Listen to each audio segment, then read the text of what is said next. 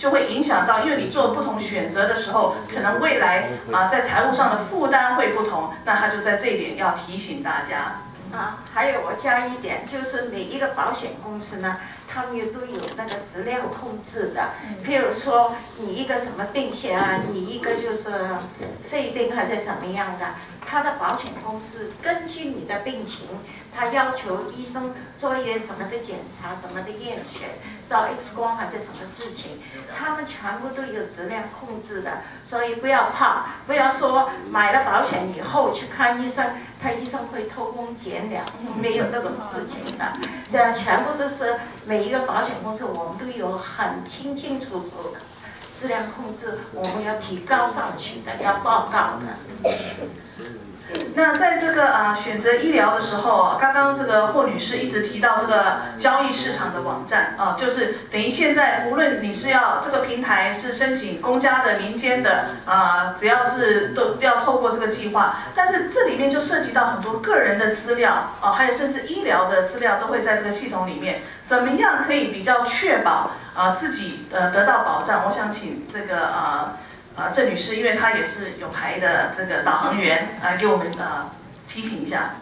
我的经验呢就是这个样子啊，很多民众来问，诶，嗯，Betty 啊，你觉得哪一个最好啊？你可以介绍哪一个呃公司给我，或者啊选择哪一间的那个那个啊等级啊，白金啊，黄金啊？这个问题呢，要考虑的是你自己那个呃家庭的情况怎么样，经济的情况怎样。啊，另外呢，就是看你自己很重要的，就是说你自己的那个呃呃医疗需要在什么地方。有的时候呢，可能年纪大一点的，有一点的呃长期的慢性病，那么你就需要考虑，可能啊，我还是付多一点保险费呀，啊。自付费就少一点，对吗？如果是你说我年纪轻的，我一年基本上就是看一两次病的，可能我就付多一点的自付费。可是我要提一提最要紧的呢，就是你自己应该怎么决定，应该怎么样考虑情况。第一，我要再提提我们没有提过的，就是预防胜于治疗，啊，这应该是最重要的。这个保健好的地方就是，如果你去每一年做一个呃体检。跟筛检是不需要付一点自费的啊，这个是很要紧的。我们中国人真的是很注重保健的。我们广东人呐，喝什么汤啊，煲什么药啊，怎么样？这个就是保啊保保健的问题。所以看医生不是看病，有时候就是要健保。为什么我们需要健保保健我们的身体健康？这个是最要紧的。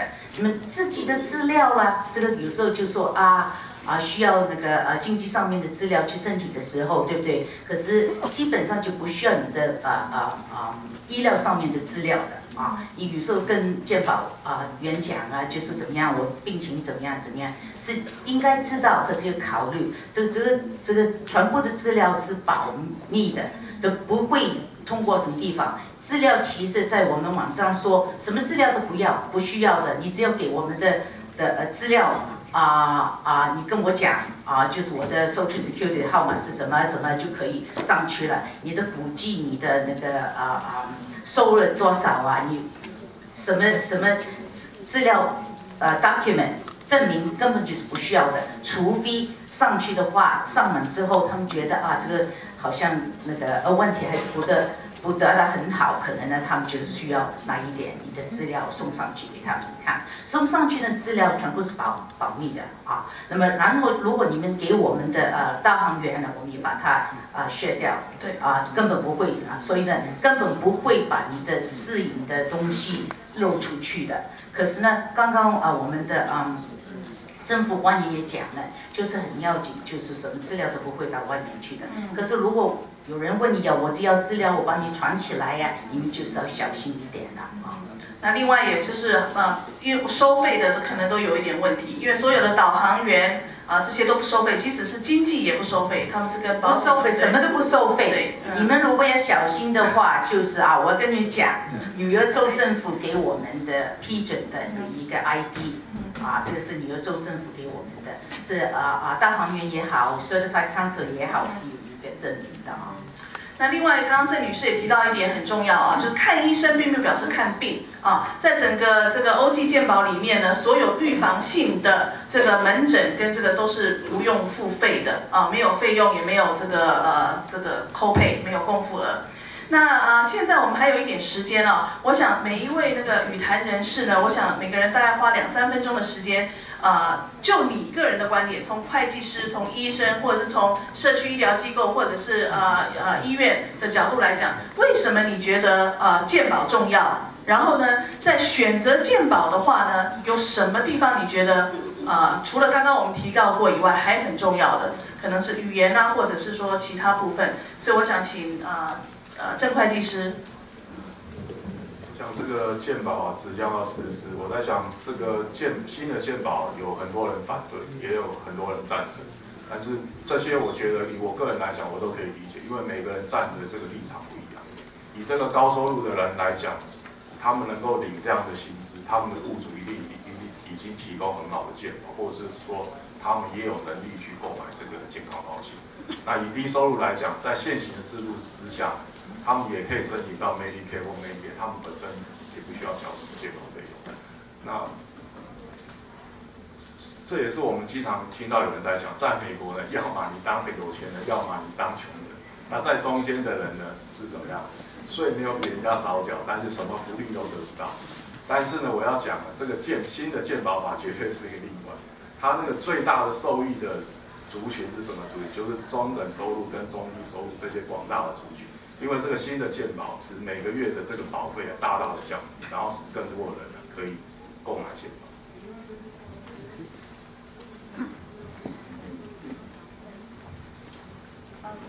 One thing that is very, very important is for the for you to make sure that you know uh, your coverage. Uh, whether you're enrolled with uh, one one insurance company and whether that physician is on that plan. It's very important to make sure if you see the doctor that uh, that you have coverage with that uh, under that doctor. What can happen is that if you don't and you see the patient uh, and you see the doctor, what can happen and you don't have coverage, um, then the insurance company can come back to ask the money back from the doctor, and of course then the doctor will come back and ask you for that um, uh, that payment. So it's very important you know um, your physician is on the insurance network and also particularly if you may go to different insurance plans throughout the year um, to make sure that you know uh, when you're enrolled, when you're not enrolled. Um, so that I would say would be the most one first um, important thing to remember. 那那个呃，吴总干事觉得最重要的呢，就是要确认一下，你看的那个医生呢，真的是在这一家公司的这个健保计划的这个网络里面，因为每一家健保公司有不同的计划，是要在那个计划的网络里面。然后你自己的健保是什么时候生效，什么时候不生效，还有包括内容，因为很多时候在呃实际上来讲，就是有时候医生他可能简单确定一下，然后说你有啊，或者是你告诉他你有。给他这个 copy，就去了以后，做完医疗服务以后才发现，哎，结果不包这不包那，或者是全部包，在最后呢，要负担的可能还是你自己。所以事先做的这个功课呢，是第一啊重要。啊，相信已经听了那么多讲关于健保的事情，可是我在这里面有很多地方要提醒大家一下，因为作为一个民众来讲。你呃买一个保险，不是单单要看那个保险公司它保障的所有的东西，而且还要看一看地区。譬如说你住在的地区，你家里面附近的医院是收哪一个保险的，你也是很要紧的一个项目。譬如说你的私家医生说，嗯，你现在要到医院去做一个很小的手术，我介绍你到那这一个医院去。可是这个医院不收你的保险，你怎么办呢？就要去找一个医院是收那个保险的医院，跟收那个保险的医生。所以买保险以前呢，就要了解一下，问一问你附近的医院里面收的保险是什么。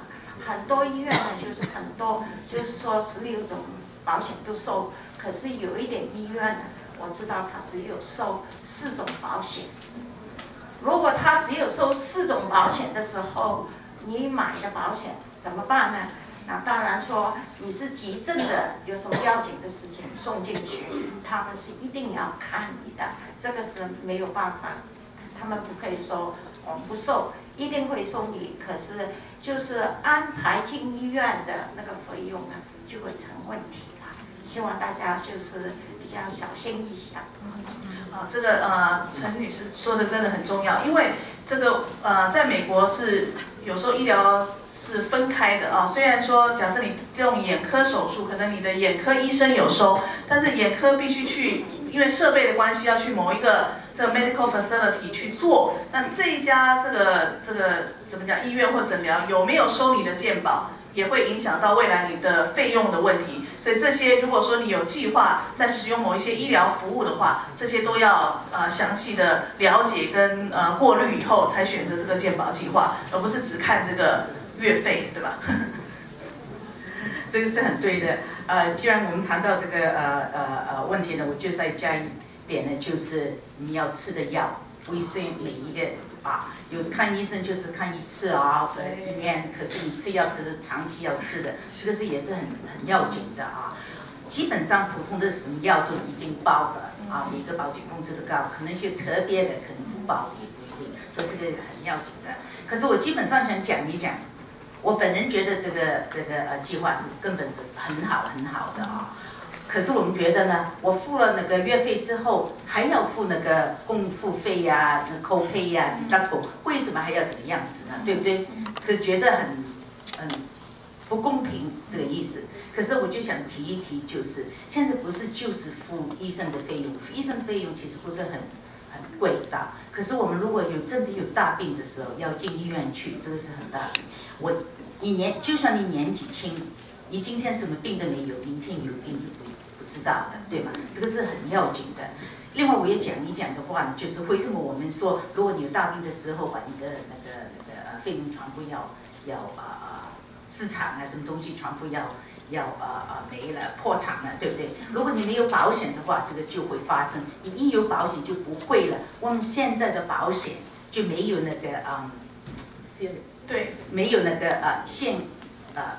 上上是上了的，这问题就是以前呢，好像你一个保险公司付那个一百万，最多一百万，超过一百万的话，他就不会付了，你自己要付了，对不对？一百万，你说这个很多，可是你有一个大病的话，是很贵很贵的。所以你们听过有的亲戚朋友就是说啊，我这真的买买房子啊，我的呃呃呃，全部的资产全部要放在这个上面，所以这是很。要紧的，这问题就是说，我们不有时候不是我们负担不起那个呃保险费，是我们愿意不愿意负担的保险费，就是看你们要考虑这个问题是很重要的。啊，那郑女士提到这有几点都是非常好啊。第一个就是医生我们还不至于常看，对不对？但用药有些时候就天天都用药，有时候我们有呃。这个呃，民众来询问，像呃糖尿病或怎么样，可能使用的药比较特别，有没有包在这家公司的网络里面？啊，这个就是非常的重要哦。那所以啊，这些提醒都非常好。那等一下呢，我们会保留一些时间呢，给民众提问啊。那我们因为进了对呃比较多这个呃。大部分重点式的提要，等一下呢，我们会有呃三个个案，会请这个导航员啦，或者是会计师啦，啊来稍微分析一下，然后呃呃帮助民众来了解，就具体上这个怎么样使用这个计算器，然后呢呃回答大家比较呃个别的问题。那今天我们的这个论坛就稍微做一个休息。各位呃，民众又回到我们这个论坛的现场啊。那因为刚刚我们虽然举了一些例子啊，可是呃，从民众的提问来看，我觉得大家可能还没有办法呃对号入座，所以呢，我们就花点时间啊，跟大家来做一下那个模拟那个。这个 estimate 就怎么样使用？说，哎，我到底人口数多少？我收入多少？住哪一个 county？买什么计划？呃，大概会有什么样的津贴等等，来给大家做一个呃练习。哦，现在我们有呃 technical issue，还有三分钟。那啊，没关系，等一下我先给大家解释一下啊，免得开始的时候大家不太清楚我们在做什么。呃，我们总共有三个案例。啊，第一个案例呢是呃个人的啊，那我们会由这个我们的有牌导航员 呃郑女士也是总监来替我们解释。那这个案例为什么特别呢？因为呢她的收入呢是在低于两百五十贫穷线以内的，也就是说刚刚我们提到过健保有两种优惠，对不对？有哪两种啊？一种是月费的。一种呢，就是在自付额上面会降低你的自付额来给你提供援助的，所以呢，等一下会有我们啊导航高级导航员来啊替我们解释说，哎，那像他这样的情况就不见得是买最便宜的健保最好喽，那怎么样运作？所以这是我们的第一个 case。那我们的第二个 case 呢，是一个啊收入大概是呃。三口人之家赚五万多块钱，但是只有一个人买健保，所以在这种情况下呢，在计算器虽然算出来它不能够符合津贴，但是实际上它可以在年底的时候再根据计算拿回它的保费津贴。那我们第二个 case 就由我们的会计师啊来进行。那第三个 case 呢，就是也是很多民众问的，就是夫妻两个呢。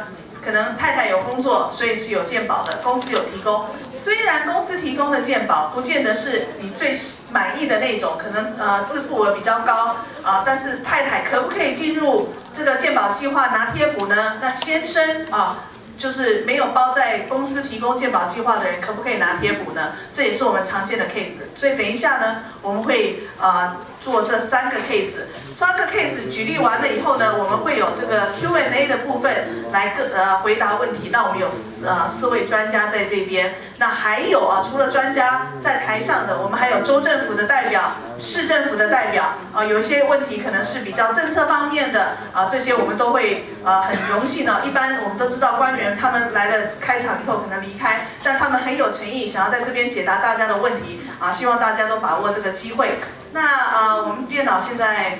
可以，OK。那我们第一个呃个案分析呢，就是如果有一个啊，我们经常碰到，这其实是一个例子，就是我们有一个女士呢，其实孩子已经大了，那她自己是呃独居的，那她的收入呢在两万一啊，人就住在皇后区，然后呢呃是大概六十岁左右，那她想知道她会符合呃月费的贴补多少呢？还有她可以降低她的这个自付额多少呢？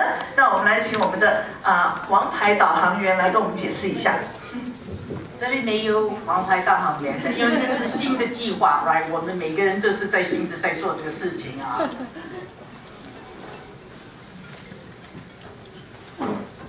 基本上大家可以看到，这这这个就是那个计算机啊。这计算机呢，如果你们要计算的话，可以自己到网上去啊，去可以查，能知道这情况是怎么样。对吗？这其实呢，这是很简单。我说，首先讲一讲，第一个就是说，呃，呃，太不好的就是没有中文在上面。可是我们就说，一家人多少人呐？对不对？几个人要啊？地方就是几个人要参加，呃，要呃参加这个保保险呐。另外就是说，有几个是小孩子啊，十九岁以下的这个样子啊啊。另外一行呢，就是说。还有呢，就小孩子是啊二十六岁以下的啊。现在呢，这新的计划就是说，如果每个啊啊雇主有你有保险在跟雇主里边的，现在他小孩不超过六十六岁也可以申请在他的保范之内，这个是很好的啊。我。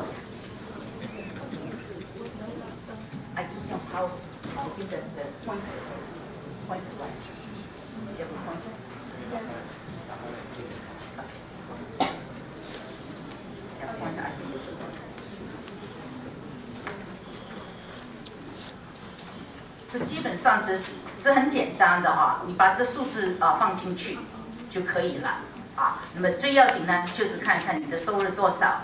另外呢，再选择那个那个啊，你一个计划就是银啊、白金啊，或者是你先把那个这里这些啊呃银了，然后呢，就是要把我们住在一个康体那个呃眷院，因为呢有的保险呢，保健公司呢就不是一定在在 Queens 的，所以这个很要紧。你一放进去之后呢，自动它会出来的，那多好啊！我们不根本不需要算的啊，它全部已经算出来了，这里已经算出来的啊。那么你先看看这里那个今天呢，啊，这位女士呢，就是今天可以两百六十八。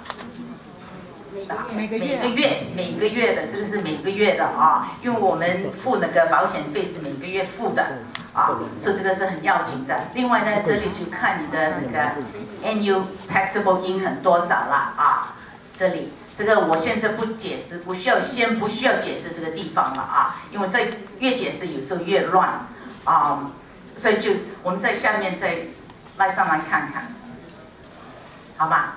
一到下面呢，就是有我们 Queens 那个保健公司一直在这里了，啊，就可以看得见。那么这里已经算出来了啊，除了那个津贴之外，这位女士还要自己还要还要付多少钱，对不对？这个就是保险保险费费用多少每个月，然后呢，这个津贴就是两百六十八块九毛钱，自己自己还要付这一个数目。啊，你可以看得见每个保险公司有点不同的啊。我们刚刚说啊，你自己的呃预算怎么样，经济怎么样啊？不是一定就是看钱的呃问题，还有别的考虑别的问题。在这个情况之下呢，有时候我们就是说啊，我还是买啊铜的最好了，对不对？铜的最便宜嘛，啊，对吗？可不一定是最便宜的，有的是便宜。这这位女士来看呢，她的那个嗯啊补助就是呃今天就是。一样这么多了，可是呢，她是在贫穷线以下的，就是两百五十。那贫穷线以下呢，又特别优惠，除了可以拿一道补助津贴到那个每月的月费之外呢，就还可以补助那个啊自付费用，这个是很要紧的。我们可以拿另外一个 slide 吗？好了，另外。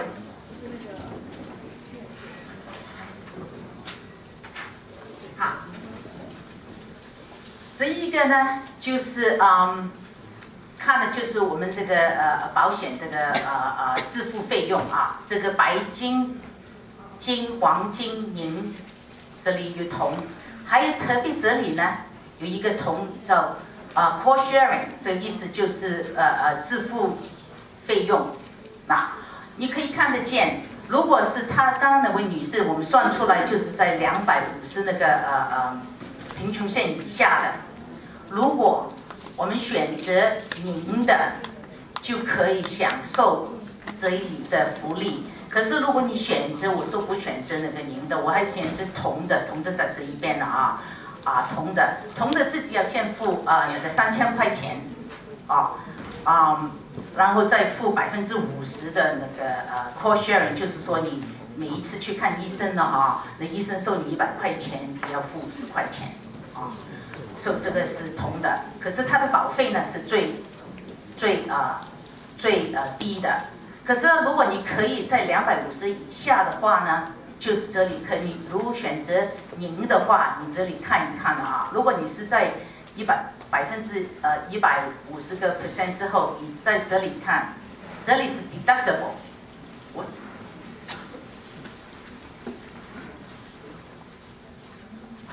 对不起，这里是 deductible，一分钱都不要付，跟那个白金的一样不要付，看见吗？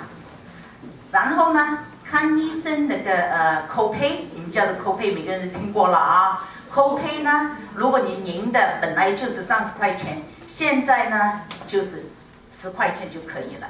所以自己要觉得到底怎么样，不要说就是看那个那个保险费多少，有时就是要算一算自己在那个贫穷线之内嘛。如果在这个之内的话，你就要考虑选择可能赢得了啊。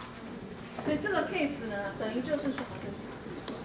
这个 case 的呃主要的意思就是让大家知道，就是刚呃这个霍女士提到过，呃平价健保里面两个，一个就是在月费上的补助，我们都知道百分之四百以内的啊，也就是成年。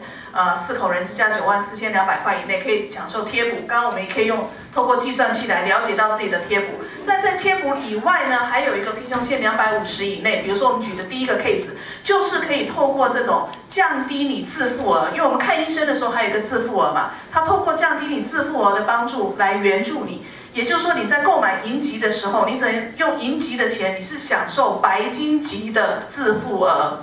明白吗？所以呢，啊，这些你们都不用太担心。其实导航员在帮你的时候，电脑是自动会出来的啊。你不要说，哎，奇怪，我第一次见我导航员的时候，他都没跟我解释那么多，因为他不需要，他直接落点的时候，会根据你到底是在哪一个范围里面符合什么，电脑都会自动告诉他，他也会自动跟你解释。所以我们就想举一个例子提醒大家，除了在月付呃的那个呃，就是每个月的。